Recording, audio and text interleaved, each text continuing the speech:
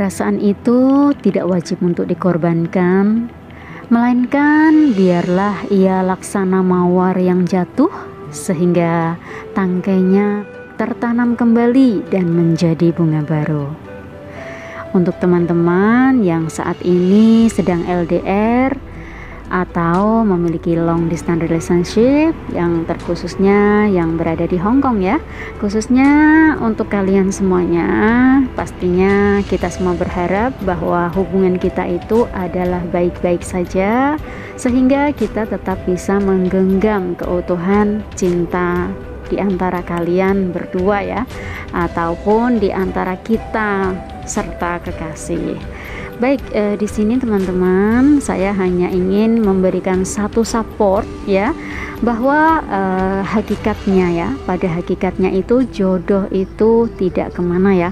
Jadi seibarat itu orang berkata, takkan lari gunung dikejar ya, hilang kabut tampaklah dia. Jadi seperti apa sih kalau gunung itu kan kita kalaupun mengejar, mendekat, mendekat, mendekat akan semakin dekat ya Nah, begitulah juga dengan jodoh ya teman-teman. Ketika jodoh itu sudah ada di situ ya, kita semakin mendekat itu dia tidak akan lari. Seperti itu loh ya. Makanya di sini saya hanya sedikit uh, memberikan support saja dan tentunya ayo kita semangat bareng apalagi uh, jaga stamina karena sekarang uh, di Hong Kong juga sudah mulai jauh ya sudah mulai musim gugur dan kemudian juga mulai musim dingin. Jadi teman-teman keep untuk uh, stay health ya.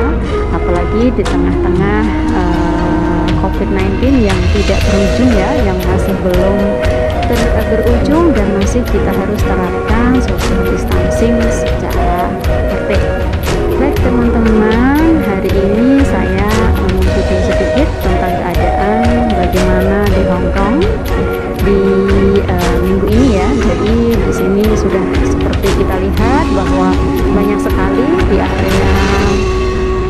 taman itu sudah mulai gugur seperti itu ya. Jadi teman-teman uh, senantiasa untuk uh, stay health ya.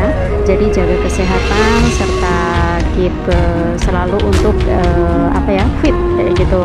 Oke lah, terima kasih. Salam uh, berkarya, selamat bekerja, dan juga tetap semangat untuk keluar.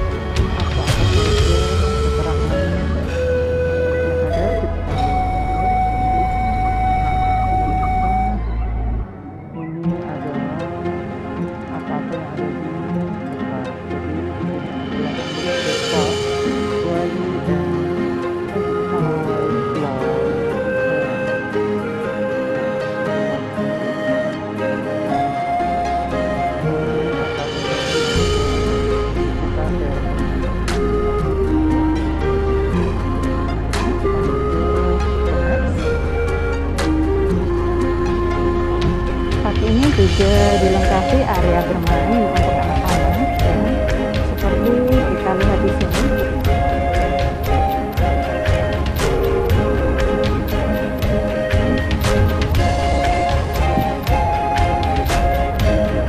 Ini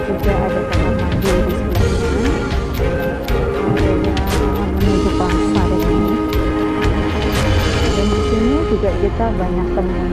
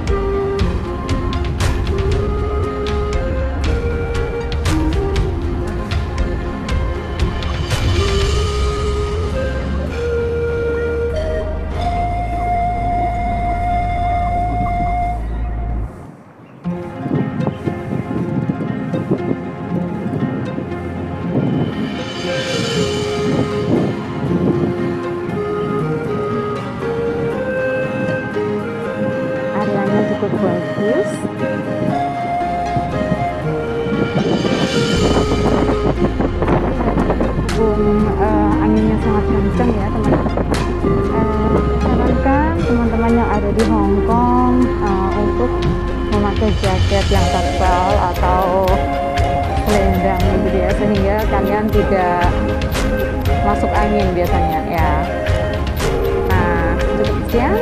Ini adalah areanya. Terima kasih and keep stay tune.